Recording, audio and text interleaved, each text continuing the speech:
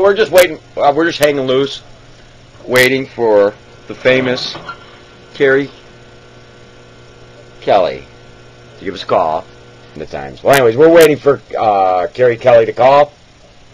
Should be calling any minute now, and uh, he could tell us all about what's upcoming with him. You know, I have several questions for him that I'd like to ask. I'd like to ask about Saints of the Underground band members Bobby Blotzer, Robbie Crane, and uh, Jani uh, Lane. Hello, Timothy Spider. How can I help you, sir? Hey, Kim, it's Keri Kelli here. Hey, Keri. How are you, sir? I'm doing pretty good, man. How about yourself, my man? Oh, we're rocking right along here. Um, I, I got Very your good. I got your email. I just got out of bed myself.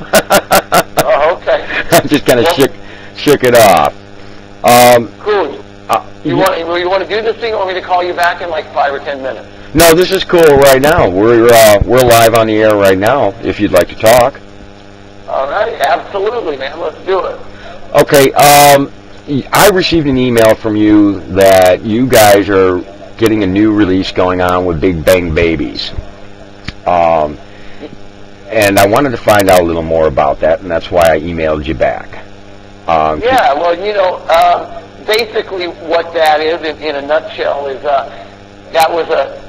It, it actually was an old project that I had when I was a wee young rocker uh, of like 19 years old, and uh, you know, we lived up in in Hollywood and did the whole, you know, Hollywood hoopla that you've probably seen on the good old Decline of Western Civilization, the Metal Years movie, and uh, and all that. So we were definitely having our share of a good time. But you know, we had a, a cool little band called Big Bang Babies that I had put together, and um, you know, we gave it a shot for a few years, and nothing really happened uh, on a national level. But you know, on a local level, we did you know pretty good business, and. Uh, you know, my buddy uh, Tom over at Perris Records, who I had known for literally like 20 years, um, he had this, Perris Records company that he does, and he goes, "Hey man, let's why don't you put some of those songs together that you had, you know, demos laying around, and put something out?" And I said, "All right, let's do it." So we actually did that. Uh, it's been about five years or so since it's ac- actually the hard copy record out, but now, um, you know, you got to embrace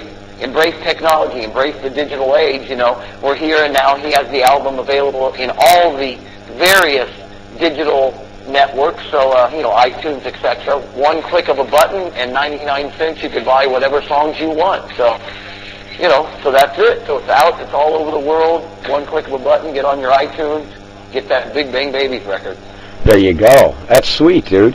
Um. I'm really interested in that because I remember actually because like I'm I'm about the same age as you are, and Yeah. I was cruising the market then as a lead guitarist because I'm a lead guitarist of the band Wet Thing um, here in Chicago, and we made it to a certain level. Um, we were able to actually open for one of the bands that you uh, played with, and I don't know if you were playing with them back in 2000 with Skid Row. Um, Oh, very good. Yeah, no, those guys are my brothers, of course. Um, I actually was not playing with him at that point. Um, I was playing with Slash during that period. But Skid Row, great guys, uh, incredible band. Guys are my brothers, man. Yeah, uh, they're they're phenomenal. We we've been com- we've been talking via email about uh, this other band that you got together with Bobby Blotz um, and uh, Jani Lane and those guys Yeah. from Ratt, um, and uh, that's called Saints of the Underground. Yes, sir. And uh, I'm really interested in that. I was checking out your music and I find it very intriguing.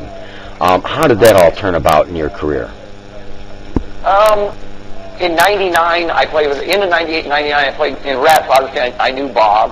Um, but during that same period, um, I was writing a lot of songs with Jani. Um, we were going to do a side project, and we didn't know what we were doing. We were just writing a lot of songs together. Um, and then uh, the starting of 2000, uh, Pearcy, Stephen Pearcy, singer of Ratt, had some falling out with the other guys, and, and we, Ratt, didn't have a singer at the time, so Jani asked me to go out and play with Warrant, so I, I did that, so we became, you know, better friends than just songwriting partners or whatever, and uh, anyway, so it was one big happy family, you know, I knew the Ratt guys, Jani had known uh, those guys for years, and then I'm in the mix and whatever, and um, one day, years later, obviously, regarding the Saints project, um, we got an offer. Somebody said, "Hey, you guys, we used to go out and do these jam gigs just for fun. um, and we just play covers and stuff, and and uh, the same band pretty much. You know, Jani and me and Bob and, and Robbie Crane on bass. Same band. We go out and play Thin Lizzy stuff, Led Zeppelin, Stones, you know, whatever it may be. Um, and then one day, uh, somebody came up to us, record company, said, "Hey, you guys interested in doing a a real full length, you know, original record?" And we go, "Hell, we never really thought of it, but sounds good." So. Uh, JD and I basically got together at my house, wrote a bunch of songs. Um, we wrote a couple songs with Bob as well, and then we just we cut it. We cut most of the record at my house, cut the drums over at Bob's house, and then um, we got Andy Johns to mix it, who's uh, a legend. Um, you know, Led Zeppelin records, Van Halen. You know, the list Oh, on, yes. on the new Chickenfoot record. Yeah. Oh, yes. And uh, and we did it, so it was a really fun little simple project to do for us, and it was and it was fun, and uh, I think it's a, some really good songs on there, which is, is is the bottom line, you know, cool songs. Yeah, that, that that's very awesome. Now I, I have uh, a lead vocalist here is also my wife. It's Ora Flanagan, um, and she she has a question about you Hi, uh, for Keri. you. This is Laura. Hi, how are you? I'm doing good, babe. How you doing? Oh, I'm still alive, still alive here in uh, in uh, where are we? We are in Berlin, Germany, as we speak. Oh, fantastic, fantastic, man. The question is, I heard you did a couple of things on Vampire, uh, Buffy the Vampire Slayer. Yeah, that was back in the good old days. Eh, No, that was uh, you know, I mean, when you're a song, I've always been like the guy in the band that had, um, you know, like a recording studio and things like that. So I, Right. you know, back in like we were talking the Big Bang Babies days when I was a, a wee young lad, I had like the four-track recorder, then the eight-track, and then Right. the 16-track, then the Pro Tools. Now, so I was always writing songs and recording things like that. So at one point you go, wow, well, what am I going to do with all these songs that are sitting around?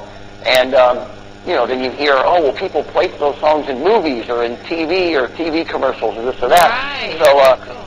yeah, so basically I, I just had, uh, you know, I, I sent a bunch of my material around to some of my friends in, in the industry and see if they could play some songs. So I got some placements on Buffy the Vampire Slayer. Sounds fantastic. I, Um, yeah, so they were on the yeah they were originally just on the episodes um, when they originally aired, but then the show got so popular that they obviously ended up putting them out on DVD and things like that. So you just make more money, more money off of off of these kind of things. Um, you know, but I get some placements in some movies and some TV commercials for American Express and Very good. you know things like that. So it's you know all those little things add up, and it's uh you know you sound like a big. it's- you're you sound working like you're a working musician. You know what I mean? right, you're sound like a busy guy to me. I was on divorce Uh, court.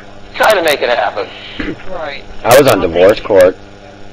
I'm just joking with you. I was on divorce court. we were out in L.A. last June. Uh, was that last June we were out there? Yeah. Yeah, we were out in uh, L.A. last year in June playing a spoof on uh, divorce court. We decided that we'd go on there and uh, get our faces on TV. uh, the big, the. All right. So you're still married, though. oh yeah, the big, the big bang was I, I, I, I, There's I, a lot of publicity. I kidnapped all the cups out of the house and kept them in the car, and I wasn't going to bring them in until she admitted the Fender guitars stink. all right. Yeah. Uh, what is, yeah, what is your favorite guitar to play on? I myself, I'm I'm a Gibson guy, Jackson guy. Uh, Yeah, you know, um, I mean, I think every guitar is different. It really depends on um, what you're, you're, know, what you're recording or whatever, or, or you know, live is not as important as what you're is when you're recording. I mean, every guitar kind of has its own kind of a sound. You know, I mean, Les Paul sounds different than an SG, and SG is thinner sounding, a little bit more mid-range sounding. You know, and those guitars sound different from a Fender Strat. Those sound different than a, from a Telecaster, etc. So in the studio, it's more vital. You know, or 335. You know, you're playing a, a hollow body or a semi-hollow body. It's all about the tonality that you're trying to go for. Um, exactly. I hear that. but- yeah, but live, live is kind of just like, you know, it's a kind of a different animal. You can almost play any guitar live and be able to cover the parts properly. In the studio, it's more of a thing for me about the tone that you want to get and what you're trying to, to you know, capture. So it, it just all varies. I mean, I have probably, I don't even know how many guitars I have, probably 50, 60, or 70 of them. Yeah. but they're, you know, I have, I have like a main, main, probably six or eight guitars in my in my control room that I just go to, you know, and I know, oh, okay, I need the 335, okay, I need the uh, SG, I need the, you know, Les Paul. So I think as long as you have one of one of all those guitars in your arsenal, you should be covered. That's right. I I've got guess you can never have too many guitars, huh? No, no, No, well, one no of way, one, baby. one of, yeah, one of every one of every style. I think you'll be you know you're covered. You know. You're good to go. There you go. There you go. Listen, um, you you've worked with Alice Cooper for a number of years now, and we we caught you guys. I do believe you were playing, and I uh, at the uh, Star Plaza in Yeah. Indiana, and uh, we caught your show there. Um, and Alice came out, and he signed uh, a vintage record that Alice had that she was giving away for uh, a birthday present to her brother. Very Um, nice. Um, and uh, yeah, it was very nice of Alice to do that too. I was not expecting that of him. Mo- uh, I mean, you run across uh, rockers that have little or no time for their fans from time to time. You know what I mean?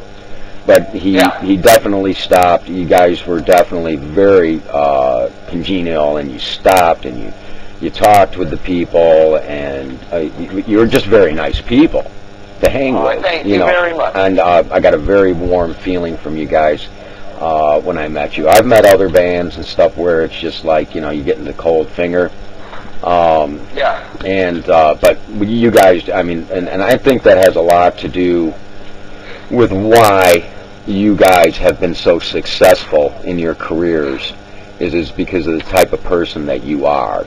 You know, you. Yeah, no, I I, def- I I understand what you're saying completely. I mean, I I've dealt with obviously many many a personality in my uh, rock and roll travels, you know, and uh, um, you know, I mean, the way I look at it, like I said, I mean, I, I'm just trying to be a survivor. I'm out there doing my thing, and uh, you know, you got to every day is, is take a day at a time and stuff. But but it's it's really it, it's something something has to be said for guys like Alice that have been in this business for so long, yet they're still so grounded and so mellow, and and and they're into it, and they love performing, and they obviously love the fans and the whole nine yards. I mean, Alice has no attitude whatsoever. You know, what I run into, it seems like sometimes the bigger the musicians are, uh, a lot of times the less of the attitude they have. I mean, guys like whether it's Slash or I've hung out with Steven Tyler before, or um, I mean whoever. I mean, the list goes on and on. The Stones. We played shows with the Stones with Alice, hung out with those guys.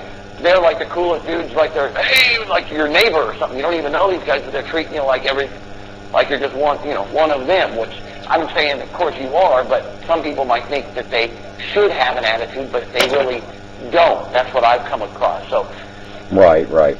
Well, you know, I never really, as a musician, I, I never really tripped on an ego type thing. I was just, you know, Right. I, I mean, you know, when I was in the bars and just doing the bars, the bar roll, a lot of the bands were like in this uh, real competition groove thing. You know, there's one Yeah. really neat thing about you that I, I have contacted a lot of musicians out there uh, to join us on this show. Come out to, we've been talking about you coming out with uh, Saints of the Underground to perform out at Wet Thing Haven um, and trying to work something out there.